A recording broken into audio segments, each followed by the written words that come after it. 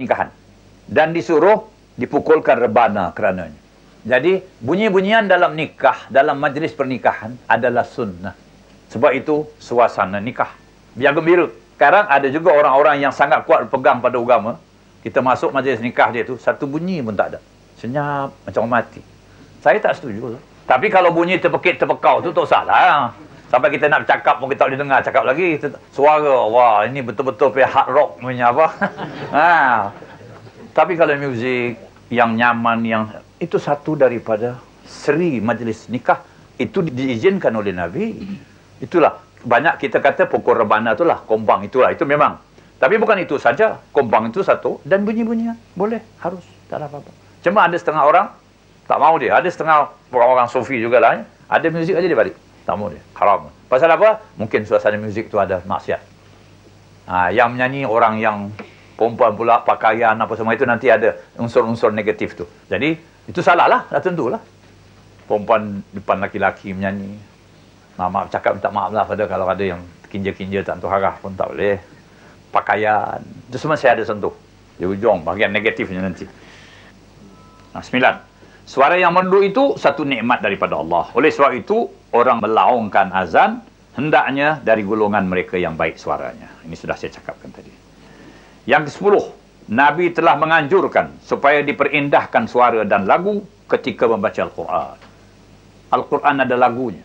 Lagu Al-Quran, tapi bukan lagu sebarang. Lagu Al-Quran ni ada special lagu. Ini kita pelajari daripada ahli lagu. Taranum Al-Quran. Bukan sebarang lagu kita boleh lagukan. Ada Hijazi, ada Ada macam-macam lagu lagi, ada Rakba, Rakbi dan sebagainya. Ha, itu ahli lagu tahulah itu. Ha, tapi sekarang ada pula satu macam punya doktrin atau pahaman yang tak boleh melagukan Al-Quran. Baca begitu saja. Padahal itu banyak ulama mengatakan boleh dilagukan Al-Quran. Dan ulama-ulama di zaman-zaman ya orang Mekah dengan lagu Mekahnya, orang Madinah dengan lagu Madinahnya, orang Hijaz, orang Yaman, Quran itu banyak lagu. Hukum lagu itu saja dah berapa taranumnya itu. Jadi itu diharuskan dengan tajwidnya, dengan lagunya.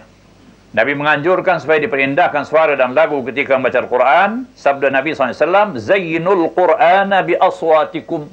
Zainul Qur'ana bi aswatikum. Artinya perindahkan Al-Quran ini dengan suara kamu. Perindahkan Al-Quran ini dengan suara kamu. Nah, itu yang dikatakan dalam hadis mula-mula tadi. Allah sangat suka mendengar orang yang membaca Al-Quran dengan lagu yang indah dan yang baik riwayat Tirmizi, Abu Daud dan Ahmad. Al-Bukhari pula meriwayatkan laisa minna man lam yataranna bil Quran. Artinya bukan dari golongan kami orang yang tidak memperlagukan Al-Quran. Begitu sekali kata Nabi. Yakni itu tafsirannya mesti betul ya. Yakni tidak sempurna bacaannya kalau tidak mengikut cara kami membaca dengan suara yang merdu dan lagu yang baik.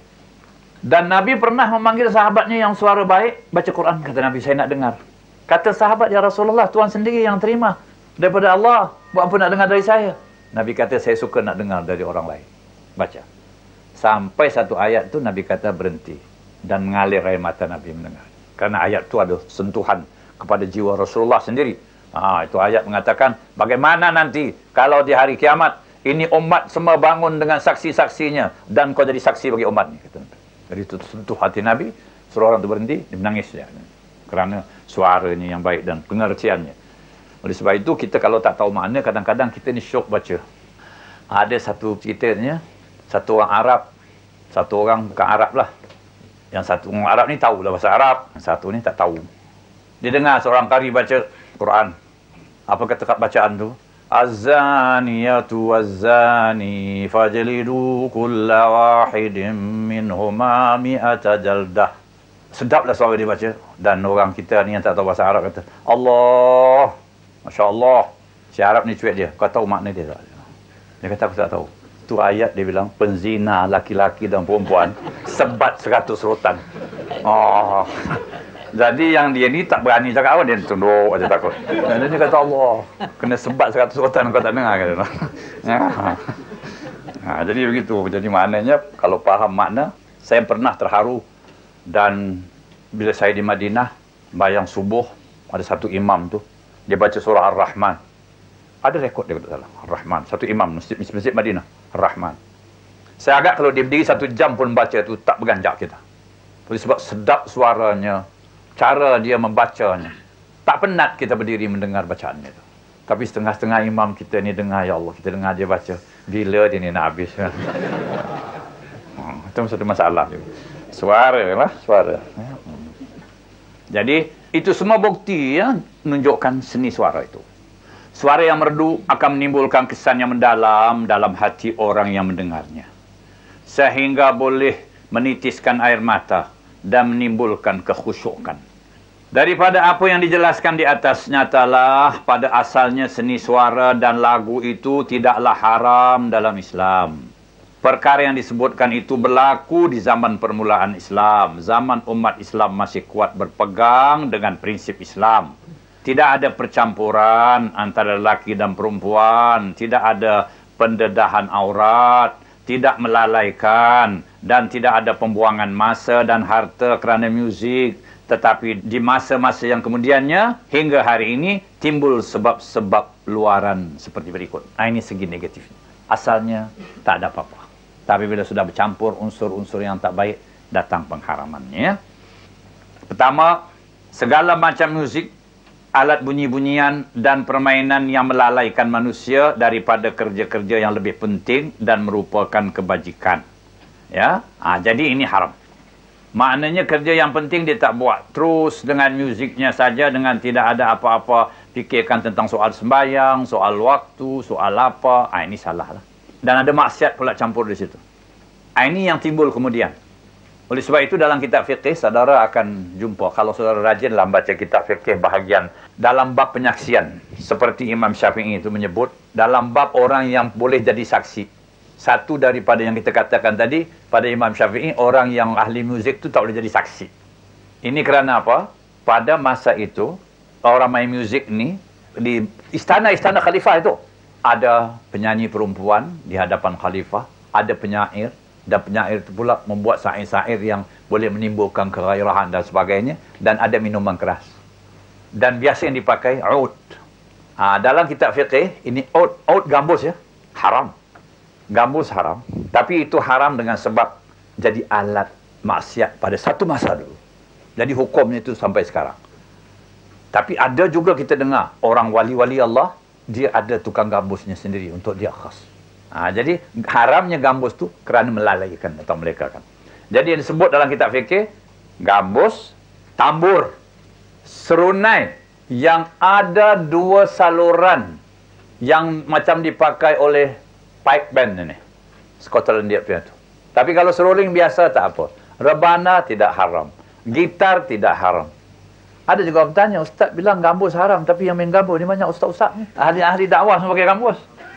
Ha, jadi di situ kita buat dia punya apa. Kalau kerana tujuan kebaikan. Macam lagu-lagu dakwah semua pakai gambus. Tapi kalau dalam fikir, gambus dia sebut tu haram. Ud, itu ud. Itu memang bunyinya lain. Tak sama macam gitar. Dia ada dia punya tarikan. Bukan mesti yang ada tali itu diharamkan, ya. Tetapi yang bunyinya itu menawan pada umumnya. Itu pun bergantung pada peminatnya lah. Sampai dia kalau dengar itu gambus, gambus dinaskan haram dalam kitab-kitab fikih. Tapi bukan haram dengan nas hadis Rasulullah sallallahu alaihi wasallam, tidak dengan nas ijtihad ulama. Kerana Imam Ghazali pernah kata dalam kitab dalam yang saya quote itu tadi wal ud dia kata kalau tidak suka dengan ud dan bunyi-bunyiannya itu dengan bunyi out itu bila dia maka orang itu sifatnya keras dan dangkal katanya. Disebut ud di situ. Ud itu gambus. Cuma gambus ini pada peminat gambus bila didentingkan itu satu macam datang dia punya suara pada dia. Dia naik shock betul.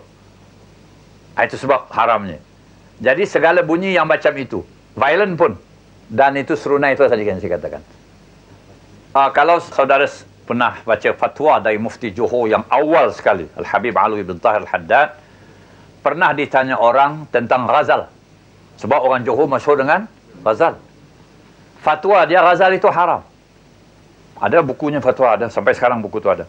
Tapi haramnya ada sebab apa? Dia kata orang yang main Ghazal selalu ada minuman keras dan tidak tidur semalam-malam sampai pagi dengan Ghazal. Itu haramnya ada main kampus tu. Dan pernah pada masa saya kecil-kecil pun saya pernah tahu pasal nak jaga sikit image ke apa tu dia minum arak tau. Tapi arak masuk dalam teko yang dia tuang-tuang tu semua arak. Ada orang kata itu kau tahu itu arak tu